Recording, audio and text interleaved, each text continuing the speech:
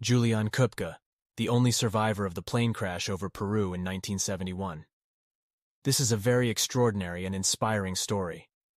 Juliane Koepcke was the daughter of two German biologists who lived with her parents at a research station in the rainforest of Peru. She was taught by her parents how to survive in the jungle and loved nature. On Christmas Eve 1971, she and her mother boarded LANSA Flight 508 to return to Lima to meet her father. On the way, the plane was struck by lightning and caught fire. She heard her mother say, This is it, it's all over. Then the plane exploded and she fell into the rainforest from a height of two miles, still sitting on her seat. When she woke up, she found herself badly injured, with a broken collarbone and a torn knee ligament. She saw no one else alive, not even her mother. She remembered her father's advice. If you get lost in the jungle, follow the river to find people. She started walking through the jungle, struggling with mosquitoes, hunger, thirst, and fear. She also had to face wild animals such as crocodiles, carnivores, and poisonous spiders.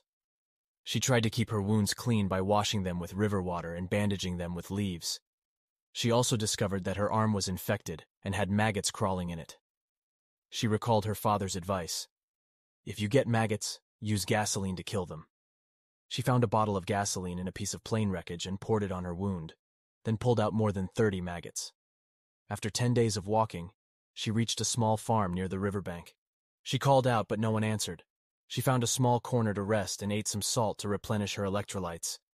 The next day, she was found by three local men who took her down to a nearby town and called her father. Her father could not believe his ears when he heard that his daughter had survived. She was taken to a hospital for treatment and recovery. Later, she returned to Germany and followed her parents' career as a biologist.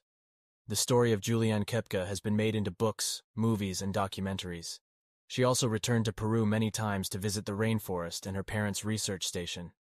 She said that she was not afraid of flying and felt connected to the rainforest. She also said that she did not regret surviving, but only mourned the loss of her mother. She said, I know that I survived for a reason. I have a good life and I want to do meaningful things.